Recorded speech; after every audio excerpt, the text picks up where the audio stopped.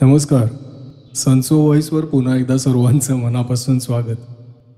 यापूर्वी वाचलेल्या ज्या कथा आहेत त्याच्यामध्ये समर्थाचे या सेवका मंतरहाट त्यानंतर आवाहन आणि मग मोहिनी चक्र.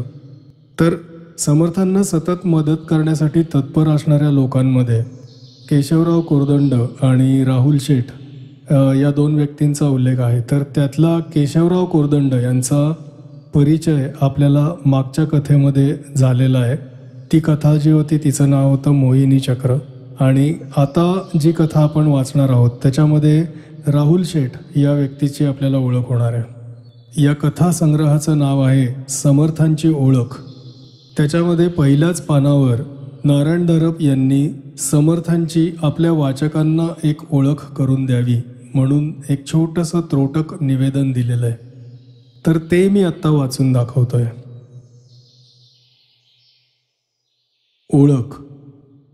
अशोक समर्थ एम ए एकोणीसशे बासष्टच्या अद्भुतच्या दिवाळी अंकात अशोक समर्थ ही व्यक्तिरेखा असलेली असला प्रकाश नको ही भयकथा प्रसिद्ध झाली. याच धर्तीवर आजवर मी पंधरा समर्थ कथा लिहिल्या आहेत. आणखीही काही लिहिण्याची उमेद मनात बाळगून आहे तेव्हा समर्थांविषयी थोडेसे. समर्थकथांनी काही एका विवक्षित वर्गाच्या वाचकांच्या मनाची चांगलीच पकड घेतली आहे. याला पुरावा म्हणजे मला आलेली वाचकांची पत्रे आणि अनेकांनी घेतलेल्या प्रत्यक्ष भेटी. सर्वांच्या मनात एक प्रश्न असतो.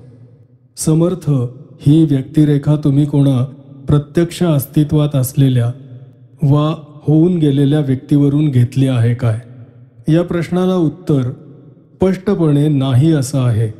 अर्थात शंकेला कारण म्हणजे समर्थांच्या जीवनाची तपशीलवार माहिती कोणत्याच कथेत आलेली नाही. त्यांच्या वयाचाही कुठे उल्लेख नाही. आता यामागची कारणं खुलासेवार सांगण्यास हरकत नाही. त्यामागे काही हेतू आहे समर्थ ही व्यक्तिरेखा संपूर्ण काल्पनिक आहे. एका आदर्श मानवाचं ते मनोचित्र आहे.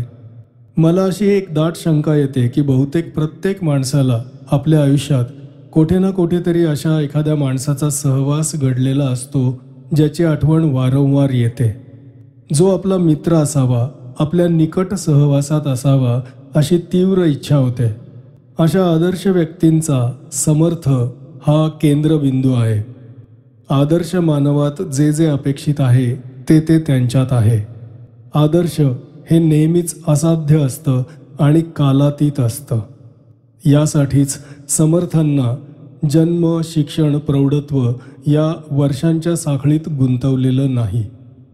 यासाठीच त्यांच्या अवयवांवर किंवा देहयष्टीवर कोणत्याही मर्यादा घातलेल्या नाहीत. मानवातलं हे अद्वितीयत्व आयुष्यात केव्हा तरी नजरेसमोर चमकून जातं. समर्थ कथांच्या वाचनानं त्या आठवणी नकळत हिंदकळल्या जात असतील. समर्थांबद्दल वाटणाऱ्या आपुलकीचं रहस्य यातच असेल. ती तशीच टिकावी एवढीच इच्छा आहे कारण समर्थ म्हणजे मानवातील सर्वोत्कृष्टाचा संकेत आहे. तर हे होतं निवेदन आणि आता आपण पुढे कथेकडे वळूयात. कथेचं नाव आहे संग्राम.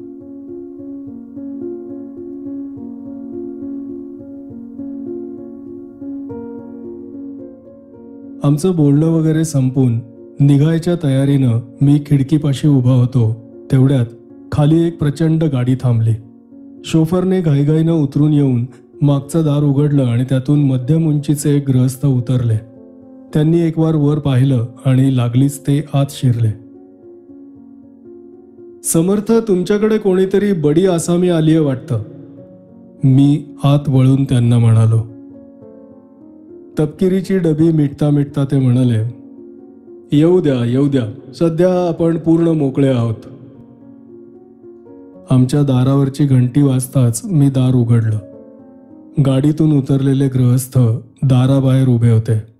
माझ्याकडे पाहत त्यांनी विचारलं समर्थ अशोक समर्थ येथेच असतात ना? हो हो आहेत. या ना आत. आत पाय टाकून त्यांनी समर्थांकडे पाहिलं आणि नमस्कार केला.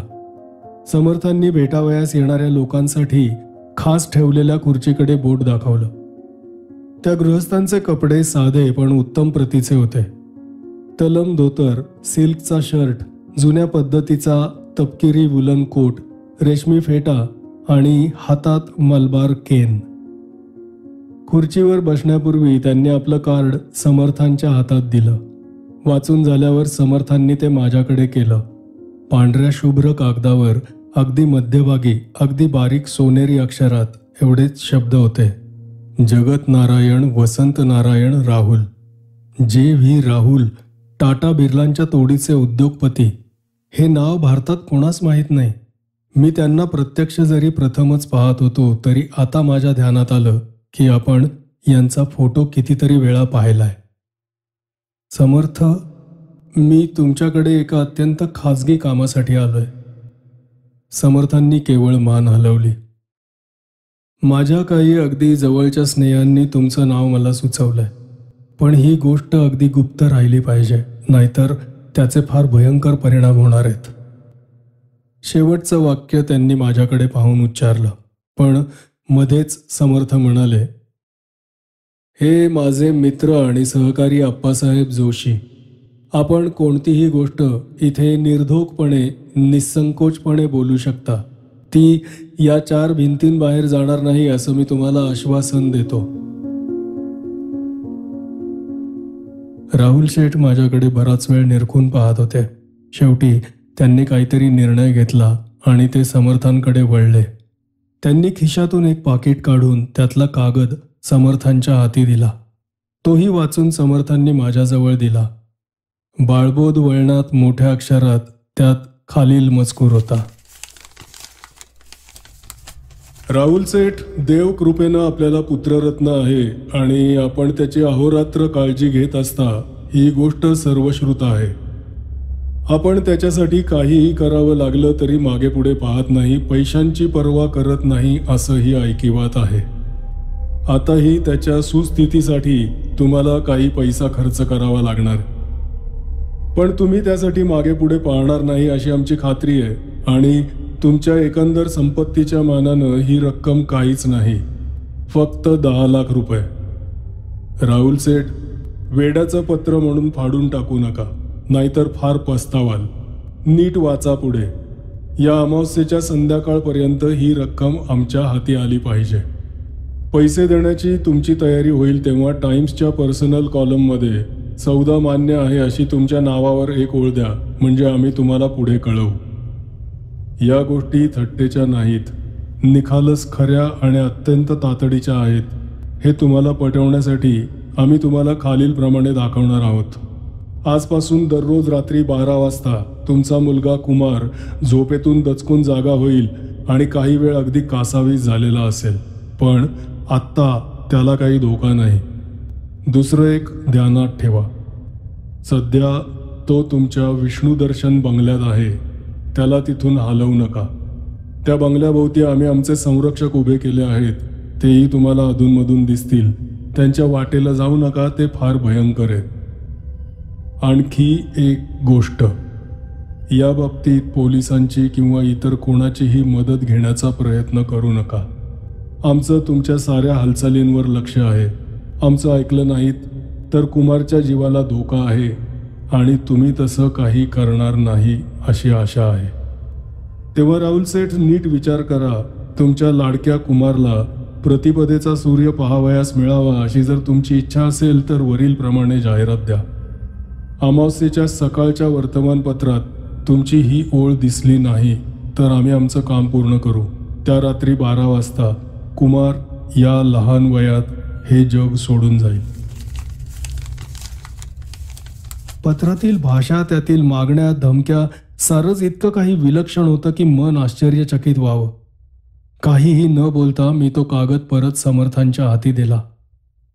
त्याची घडी करत समर्थ म्हणाले ठीक आहे आता सांगा तुमची सारी हकीकत. समर्थ हे पत्र मला पाच दिवसांपूर्वी मिळालं. धंद्यात व्यापारात या ना त्या कारणानं माझ्याशी वाकड्यात आलेले खूपच लोक आहेत. त्यांच्यापैकी कोणीतरी हे वेडपटासारखं पत्र लिहिलं असेल अशी माझी समजूत झाली आणि मी माझ्या इतर कामाच्या व्यापात ते सगळं विसरून गेलो होतो. रात्री झोपताना मला त्या पत्राची आठवण झाली. नेहमीप्रमाणे मी कुमारच्या खोलीत त्याच्या झोपायच्या सुमाराला गेलो. त्याचं वय आता साडेआठच्या आसपास आहे. त्याला झोपवून मी माझ्या खोलीत आलो. इतर सारं आटोपल्यावर अकराच्या सुमारास मलाही झोप लागली. पण माझ्या मनात अगदी मागे त्या पत्राची टोचणी होती आणि बरोबर पावणे बारा वाजता मी जागा झालो. भलत्या गोष्टींवर आपण विश्वास ठेवता कामा नये असं मीच माझं मला पुन्हा पुन्हा बजावून सांगत होतो पण समर्थ पित्याचं हृदय. शेवटी न राहून मी कुमारच्या खोलीत गेलो. तो अगदी शांतपणे झोपला होता. मी माझ्या घड्याळात पाहिलं बाराला तीन मिनटं कमी होती. मनाशी म्हटलं ठीक आहे पाच मिनटं इथे थांबायला काय हरकत आहे? मनाची शंका तरी फिटेल एकदाची. माझ्या घड्याळात सर्व काटे बारावर आले. माझी ही मनातल्या मनात सारखी उलघाल चालली होती. कारण त्या पत्रावर जरी माझा विश्वास बसला नव्हता तरी त्याच्या भाषेतील जबर आत्मविश्वासानं मला धक्का बसला होता.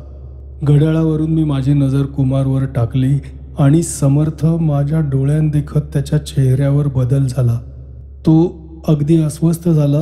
मग त्यानं दोन्ही हातांनी आपला गळा आपली छाती दाबून धरली. त्याचा चेहरा एकदम लालसर निळा काळा पडला. हे सारं जास्तीत जास्त अर्धा पाऊण मिनिट चाललं असेल. मी काही बोलून पुढे वाकणार तोच त्यानं एक खूप मोठा श्वास घेतला आणि तो कुशीवर वळला आणि परत शांत झोपला. माझ्या काळजात धडधड व्हायला लागली होती माझे हातपाय कापत होते. मी अलगत त्याच्या कपाळाला हात लावून पाहिला. तिथे फक्त जरा घाम आला होता. एरवी तो अगदी शांतपणे झोपला होता. राहुलने शेवटचं वर्णन सुरू करताच समर्थ त्यांच्या खुर्चीवर एकदम ताठ बसले होते आणि त्यांच्या डोळ्यात एक नवीनच लकाकी आली होती. ते म्हणाले जरा थांबा राहुल. कुमारच्या खोलीतला प्रसंग परत एकदा सांगा पाहू. राहुलनी क्षणभर त्यांच्याकडे पाहिलं आणि तो सर्व प्रकार जसाच्या तसा परत सांगितला. समर्थ दर वाक्यागणिक मान हलवत होते. त्यांचे डोळे अर्धवट मिटलेले होते. त्यांचं सर्व लक्ष राहुलच्या शब्दांवर होतं याची ही पूर्ण खूण. समर्थ माझ्या मनाची तुम्हीच कल्पना करा. त्या पत्रातली एक धमकी अशी खरी होताच मला केवढा धक्का बसला. आणि या हरामखोरांचा काय संताप आला? त्या बिचाऱ्या निरपराधी पोराच्या जीवाशी का खेळ करतात? माझ्यावर करू दे की त्यांना काय हल्ले करायचे ते. त्या बिचाऱ्याचा काय अपराध? समर्थ ती सारी रात्र मी जागून काढली. पण कुमार जो स्वस्त झोपला होता तो अजिबात हल्ला नाही. मग त्यासाठी कोणाकडे जायचीही मला धास्ती वाटू लागली. त्यांच्या या पत्रातली एक गोष्ट जर ते करू शकतात तर मग बाकीच्या का नाही? कोण असावेत बरं याच्या मागं? मी खूप विचार केला पण काहीच उपाय सुचेना. त्या शनिवारी रात्री कुठेतरी खाना होता. आणि तिथे माझी कमिशनर साहेब यांच्याशी गाठ पडली. त्यावेळी मी त्यांना जेवणानंतर एका बाजूला घेऊन मी अगदी खाजगी गोष्ट म्हणून त्यांना सारी हकीकत सांगितली. पण ते तरी काय सुचवणार? मी म्हटलं असतं तर त्यांनी रात्रंदिवस पहाऱ्यासाठी माणसं पाठवली असती. पण तेच तर नेमकं मला टाळायचं होतं आणि माझ्यापाशी काही कमी माणसं आहेत. तसं पाहिलं तर गेल्या पाच सहा दिवसात मी या ना त्या निमित्तानं आणखी सात आठ लोक बंगल्यावर आणलेत. पण माझी मनोदेवता मला त्या रात्रीपासून सांगते की या गोष्टीत जर खरोखर काही तथ्य असेल तर ती गोष्ट रोजच्या व्यवहारातली नाही. इथे दुसराच काहीतरी प्रकार चाललाय. तर मग पुढे. माझ्या मनात असा विचार आला की कुमारला दुसरीकडे कुठेतरी हलवावं. तसं जर शक्य असेल तर मी दोन दिवसात त्याला जगाच्या पाठीवर कुठेही हलवू शकेन. पण पहिली धमकी खरी ठरली कारण त्यानंतर दररोज रात्री बरोबर बारा वाजता हाच प्रकार चालला आहे समर्थ गेले चार दिवस माझ्या डोळ्याला डोळा लागत नाही. बरोबर बारा वाजता कुमार दचकतो. हातांनी गळा छाती आवळतो आणि लागलीच खूप मोठा एक थरथरता श्वास घेतो आणि तसाच झोपी जातो. रोज हे चाललंय. यामुळे मला त्यांच्या इतर धमक्याही खऱ्या वाटायला लागल्या. गेले तीन चार दिवस मी रात्री अकरा बारा एकच्या सुमाराला आमच्या टेरेसवर जातोय आणि काही भोवती दिसतं का ते पाहतोय. काल रात्री मी दीडच्या सुमाराला टेरेसवर उभा होतो आणि समर्थ मला हे त्यांचे संरक्षक का कोण? ते प्रथम दिसले. काय भयंकर! काल रात्री चांदणं नव्हतं आणि सगळीकडे ताऱ्यांचा अगदी अंधुक प्रकाश पडला होता. सध्या माझ्या सगळ्या कंपाऊंडमधले दिवे लावलेलेच असतात. आता तुम्हाला माझ्या विष्णुदर्शन बंगल्याची कल्पना आहे का? सध्या आसपास दुसरे कोणतेही बंगले नाहीत. त्यामुळे माझ्या कुंपणाच्या चारी बाजूंना सर्वत्र मोकळी जागाच आहे. टेरेसवरून चारही बाजू सहज दिसतात. तर मग मी वर एकटाच उभा होतो. या सर्व सभोवतालच्या अंधारात माझा आवार एखाद्या प्रकाशाच्या बेटासारखं एकाकी होतो. मी चारी बाजूंना नजर टाकत असतानाच मला एका बाजूला काहीतरी हालचाल दिसली आणि मी निरखून पाहू लागलो.